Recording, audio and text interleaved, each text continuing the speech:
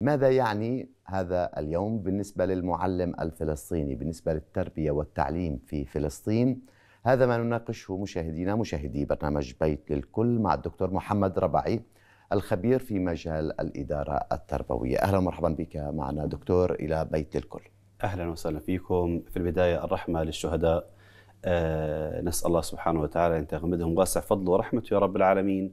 والشفاء العاجل للجرحى وفك الله أسرانا أسرى فلسطين في سجون الاحتلال الإسرائيلي. المعلم الفلسطيني صاحب رسالة ولكن نحن نعيش هذا العدوان وقد فقدنا آلاف المعلمين وكذلك الطلبة.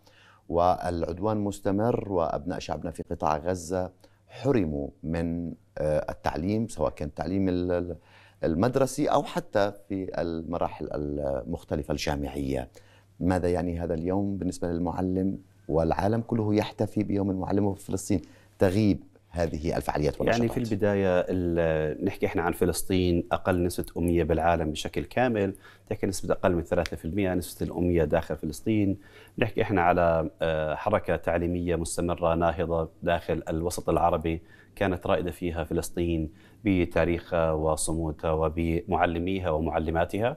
إحنا هاي السنة بالذات أو نحكي عن طوال تاريخ الشعب الفلسطيني المعلم كان يشكل حجر أساس وحجر الزاوية في هذا الموضوع لأنه المعلم هو الذي يحمل المعنى يحمل الرسالة يحمل البعد القيمي الأخلاقي الحضاري.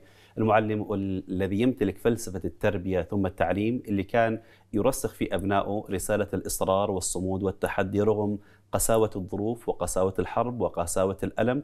المعلم الذي يؤدي دور أن يشعل الشمعة في وسط الظلام. المعلم الفلسطيني اللي بتلاقيه على الحاجز يتعدى الحواجز. تلاقيه داخل الخيمة بيمسك ورقة وقلم ويعلم داخل الخيمة. المعلم الفلسطيني بتلاقيه داخل السجن يعلم خارج السجن يعلم. المعلم الفلسطيني المحمل بالألام المحمل بالأثقال الباهظة من المسؤوليات وعبء المناهج وعبء تمرير المادة التعليمية والمحتوى التعليمي. وفوق هذا وذاك نحكي إحنا بأنه مسيرة التربية والتعليم داخل فلسطين قد خطت خطوات رائعة جدا ولكن أثر الاحتلال القوي الذي يحاول أن يوئد أي صوت فلسطيني ناهض، أي صوت للحرية، هذا الاحتلال الذي يشكل بمعنى الكلمة عقبه رئيسية في سبيل تطور المجتمع الفلسطيني، في سبيل الوأد من حريته ومن كرامته والحصول على دولته المستقله وعاصمة القدس الشريف. نحكي اليوم إحنا عن آلاف المعلمين اللي بمعنى الكلمة في طريق الاستشهاد استشهدوا في في جراء العدوان الغاشم. جرحى. أسرى. جرحى وأسرى ومعلمين وحتى مفقودين قد نتحدث اليوم عن أكثر من 50 ألف شهيد. نحكي على 2 مليون نازح في المواصف معظمهم في المواصف في رفح تحدث أنت عن أكثر من 95727 جريح. أكثر من 10000 مفقود. نسبة كبيرة منهم هم طلابنا هم طالباتنا هم معلمين هم معلمات أكثر من هدم من 200 مدرسة داخل قطاع غزة. نحكي إحنا داخل قطاع غزة أكثر من 70% من الطلبة الفلسطينيين يعانوا من الاختلال في وضعهم النفسي نتيجة الحرب القاسية الصوت العالي اللي قاعد بسمعوه بشكل مستمر بشكل مستمر.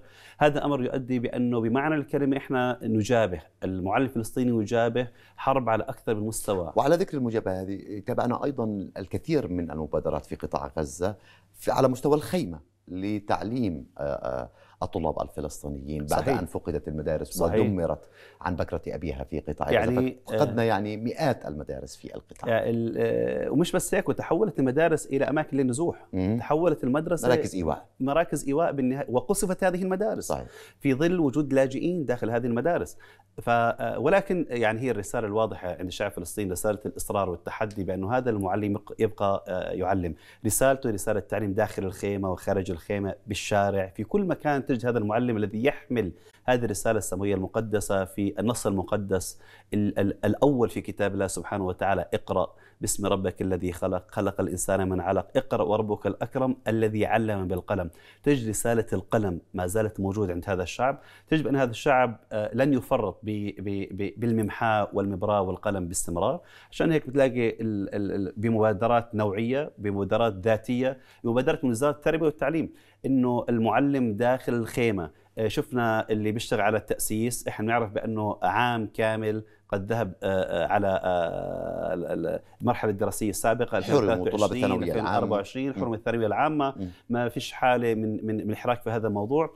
وزارة التربية والتعليم لديها استعداد لليوم التالي للحرب لأنك ما بتقدر تعمل أي تدخل آني وتدخل رسمي في المرحلة الحالية إلا بعد ما تهدى الأمور أقل أقل ما فيها حتى توظف تكنولوجيا تعمل عبارة عن بيوت عبارة عن غرف صفية جاهزة يعني في خطة موجودة داخل الحكومة الفلسطينية ولكن نحكي إحنا بالنهاية رغم هذا وذاك آه، آه، وجدنا المبادرات النوعية من قبل المعلمين في ظل هذا الظروف الصعبة صحيح. لإيصال هذه الرسالة حتى لا نحرم أبنائنا كلمة اقرأ بإذن الله. لطالما كان شعار دكتور آه، هو الاستثمار في العنصر البشري في فلسطين لأنه إحنا بلد نفتقر إلى الموارد الطبيعية بالتالي كان الاستثمار والتركيز على الإنسان ويعني أعود لبداية حديثك بإنه إحنا عندنا أقل نسبة أمية صحيح. ربما تكون نتفوق والمدرس الفلسطيني أو المعلم الفلسطيني له بصمة أيضا في بعض البلدان العربية على مدار السنوات الطويلة الماضية ساهم أيضا في نهضة التعليم في تلك البلدان بالتالي هنا أي تحديات اليوم تقف عائق أمام تحقيق الطموح الفلسطيني في الاستثمار في الكادر البشري في الاستمرار في النجاحات التي وصلنا إليها وأن نراكم آه، عليها فيما يخص مجال آه، التعليم، تطوير المعلم، مواكبة آه، أسس ومعايير التعليم الحديثه المنتشرة في العالم. شوف هو سر من أسرار المعلم الفلسطيني أنه يمتلك المعنى. بمعنى يؤدي رسالته بشرف بشرف لهذه المهنة يؤدي هذه الرسالة بعمق بعمق مؤثر. آه، آه، يخرج الفلسطيني الذي يحمل آه، الأمانة السماوية الموجودة في قلبه. ثباته على هذه الأرض هذا هو سر المعلم الفلسطيني الذي يحمل هذه الرسالة. أجل ذلك إحنا داخل شعبنا الفلسطيني والمجتمع الفلسطيني حاز العديد من المعلمين على جوائز عالمية لأفضل معلم في العالم صحيح. حنان الحروب معلم حنان الحروب وغيرها من المعلمات الفاضلات بتحكي على تطوير عملية تطوير المناهج المستمرة للمجتمع الفلسطيني لمدارسنا الفلسطينية، عملية مواكبة التقنيات والتكنولوجيا داخل المدارس. بدأ إحنا نلمسها إحنا بطريقة جدا متقدمة. كل بجهود المعلمين أيضا وإشرافهم. وجهود ذاتية من قبل آه. المعلمين، وهذا بعطيك بمعنى الكلمة هو السر الذي يحمله المعلم الفلسطيني في ذاته بأنه يحمل رسالة ذات معنى، وعشان هيك يوصل رسالة الصمود، رسالة الثبات على هذه الأرض المباركة، ورسالة بأنه إحنا عايشين على هذه البلاد وإحنا سوف نبقى ثابتين على هذه البلاد. عشان هيك أنت تجد نجاحات برغم شح الموارد برغم قلة الإمكانيات برغم بأنه التضعضع في الحالة المالية درجة استقرار مالي للمعلم. المعلم ما عنده مشكلة بأنه يؤدي أدوار أخرى بعد انتهاء دوامه المدرسي حتى يحقق لقمة عيش شريفة في في ظل هذا الواقع الصعب. ويقوم صباحا باكرا ليؤدي هذه الرسالة ويكسب شرف لهذه المهنة. ربما يعني الشيء بالشيء يذكر فيما يتعلق بالرسالة الأدوار المختلفة إن كانت في الفترة الصباحية والمسائية، في الفترة الصباحيه في منطقة مثلا جنوب نابلس يأخذ المدرس ومدير المدرسة دور الحارس على الطلاب أمام اعتداءات من قبل مستوطنين متطرفين وعلى ذكر أيضا الإنجازات التي تحققت عندما نستذكر هنا المعلمة الذي التي أخذت رقم واحد على مستوى العالم حنان الحروب كانت بداية المبادرة هي من آه، شيء مرتبط بالاحتلال وما أحدثه الاحتلال في آه، بيت لحم على العائلة بشكل عام. صحيح، عشان هنا يبرز التحدي والصمود. يعني تحدي وصمود وكمان النقطة الثانية بأنه هذا المعلم الفلسطيني اليوم تتحدث عن معلم يحمل رسالة ورسالة عميقة ومؤثرة فيه وهو يسعى إنه يوصل هذه الرسالة بظل شح الإمكانيات. إحنا بتحكي على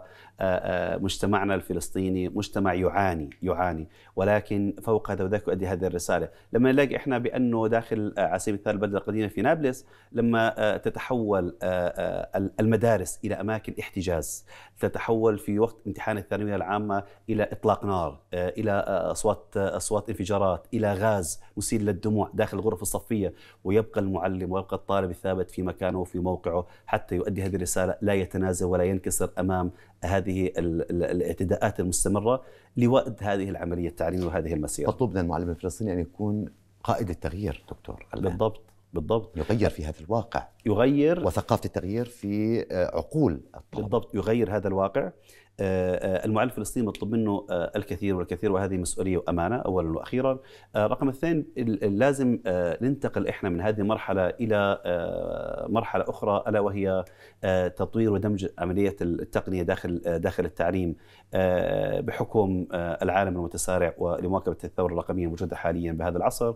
وشفنا إحنا نجاحات عند معلمين فلسطينيين كيف وظفوا التقنية بالتعليم تجاوزوا الحدود والسدود الحواجز الموجودة عمليه الانتقال من التعليم النظامي إلى التعليم عن بعد في ظل الاحتلال. لما يدخل الجيش إلى منطقة معينة مباشرة تتحول المدارس إلى تعليم عن بعد بشكل بشكل تلقائي. المعلم اليوم بالرغم من إنه ضعف الإمكانيات إلا أنه يحاول يبذل قصارى جهده أن يوصل رسالته ويبقى محافظ عليها. عشان هيك أنا بحكي لك إنه برغم إنه المسيرة فيها كثير من التحديات إلا إنه المعلم الفلسطيني استطاع في ظل الظرف الراهن أن يضع بصمته الحقيقية في هذا الواقع. قدر على التكيف أيضا ولكن في كلمة أخيرة وفي دقيقة إذا سمحت ما هي رسالة على وجه الخصوص للمعلمين في قطاع غزة يعني والظروف الاستثنائية التي يعني نرفع القبعة احتراما لكل معلم في قطاع غزة وفي الضفة وفي القدس الذي يعاني من نير الاحتلال. نقول لهم أنتم على ثغر وأنتم على أمانة وأنتم المرابطون في الميدان. أنتم من اخترتم القتال في الميدان التربوي. شكرا جزيلا لكم. هي أمانة وهي رسالة وتسطر دماؤكم وأوقاتكم من ذهب في سجلات البطولة والفداء لأنكم اخترتم أن تصنعوا إنسان صناعة الإنسان أعظم صناعة في التاريخ. قال رب العالمين لموسى عليه السلام ولتصنع على عيني لأجل ذلك صناعة الإنسان قبل البنيان أنتم من تصنعوا هذا الجيل جيل النصر والتمكين والتحرير. الخبير في مجال الإدارة التربوية الدكتور محمد ربعي شكرا جزيلا لك على المشاركة معنا في بيت للكل. شكرا, شكرا.